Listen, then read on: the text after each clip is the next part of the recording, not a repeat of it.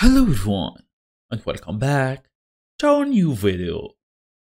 So in today's tutorial, maybe I'll show you on how to switch between multiple accounts on XApp or Twitter in 2025. It's super handy if you run more than one profile because the app, like one app of Twitter or XApp, can take to 5 accounts maximum. So let's get started. Basically, after opening your phone, go and check if you are fully connected to the internet. You can use mobile data or Wi-Fi, it's totally fine. And we're gonna go all the way to open the X app. By tapping on the icon, and open it. Then, go and tap your profile picture on the top right corner, left corner actually. Then, you will see basically all the accounts connected to this device.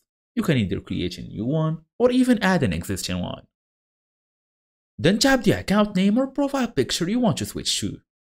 The app will instantly switch onto that account. No need to log in again since you already done that before. As for a little pro tips, you can switch accounts anytime without losing drafts or even settings. If you manage like a brand or something, should keep your business and personal accounts separate for better focus. We can either use the premium or basically go to our profile or settings and support, then settings and privacy.